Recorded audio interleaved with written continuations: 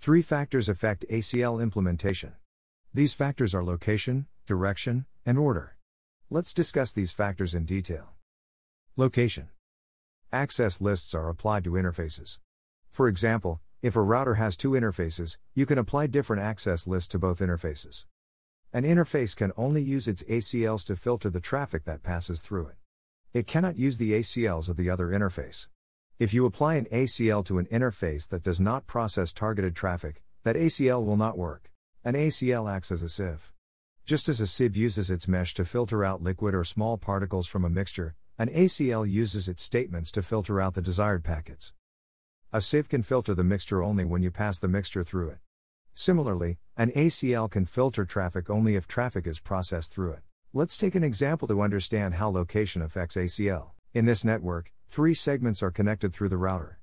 Without any ACL, all segments can access each other. Now, the administrator wants to prevent the staff segment from accessing the server segment. For this, he created an ACL and applied it to the F0 1 interface. Will this ACL work? No, instead of blocking the staff segment, this ACL will block the administrator's segment. The F0 1 interface connects the administrator's segment to the server segment. To access the server segment, the traffic of the staff segment neither enters nor exits from the F0 1 interface. Since the traffic of the staff segment does not interact with the F0 1 interface, the ACL applied to the F0 1 interface does not affect it. When implementing an ACL on an interface, make sure that the interface interacts with the targeted traffic. If the targeted traffic does not pass through it, the ACL will not work. Direction When a router receives a packet on its interface, it reads the destination address of the packet and forwards the packet from the interface that is connected to the destination address. We can divide this process into three phases. These phases are entry, process, and exit. In the first phase, the packet enters the router. In the second phase, the router processes the packet. In the third phase, the packet exits the router. We can apply an ACL before the first phase and the third phase. We can't apply an ACL before and after the second phase. If we apply the ACL before the first phase, the router will process the incoming packets through the ACL. If we apply the ACL before the third phase, the router will process the outgoing packets through the ACL. Inbound and outbound ACLs. If you use an ACL to filter incoming traffic, it is called an inbound ACL. If you use an ACL to filter outgoing traffic, it is called an outbound ACL. An inbound ACL cannot filter the outgoing traffic, whereas an outbound ACL cannot filter the incoming traffic. Let's take our example back to understand the effect of the direction on the ACL.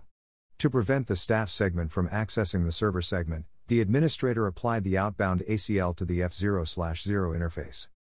Although the administrator has applied the ACL to the F0 0 interface, yet the staff segment can access the server. Can you guess what's wrong with this implementation? The F0 0 interface is the default gateway of the staff segment. It receives traffic from the staff segment and forwards it to the server segment. The F0 0 interface is the entry point of traffic. The administrator applied the outbound ACL to filter the incoming traffic. The traffic of the staff segment enters the F0 0 interface. It does not exit the F0 0 interface. An outbound ACL can't filter the incoming traffic. To filter incoming traffic, the administrator has to apply an inbound ACL to the F0 0 interface. Once an inbound ACL is implemented, the interface will filter each incoming packet through it. The interface will permit only the authorized packets. Order once the access list is implemented, the router processes each packet through the access list. For each packet, the router checks each entry in the access list from top to bottom until a match is found. Once a match is found, the router executes the corresponding action. It does not check the remaining entries for that packet. If an access list has multiple entries for the same packet, the router will only execute the action of the first entry from the top. For example, if you apply the following ACL on a router, the router will never stop a white car, even if there is an entry in the ACL that blocks the white car. If you want to allow only some hosts from a network, you should add the allow statements first in the ACL. If you add an allow statement below the deny statement of the same criteria, the allow statement will never execute. Let's understand it through our example. The administrator wants to allow only the host 10.0.0.10/8 from the 10.0.0.0/8 network to access the server segment. For this, he created an ACL and applied it to the F0 0 interface in the inbound direction. Afterward, all traffic from the staff section has blocked. Even the host 10.0.0.10/8 has an allowed entry, still the host can't access the server segment. Can you guess why this ACL is not working? When the packets from the host 10.0.0.10 enter the F0/0 interface, the interface checks the applied ACL.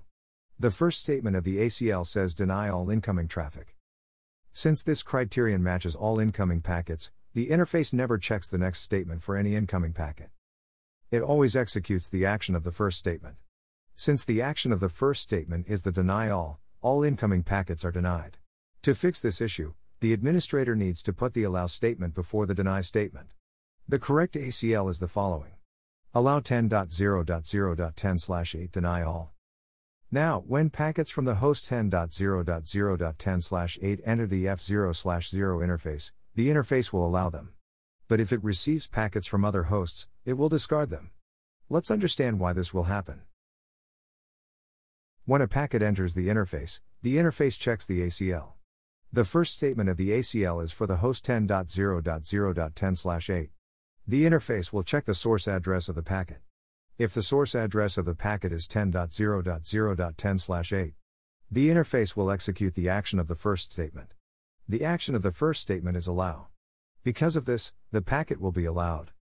If the source address of the packet is not 10.0.0.10/8, the interface will check the next statement. The next statement is deny all. This will match all incoming packets. The action of the second statement is deny all. Because of this, the packet will be discarded. Thus, apart from the packets of the host 10.0.0.10/8, all incoming packets will be discarded. That's all for this video. This video is the second video of the video tutorial series Cisco Access Lists explained with examples. In this video, we discussed how location, direction and order affect an ACL. In the next video, we will discuss how ACL works. Thanks for watching this video.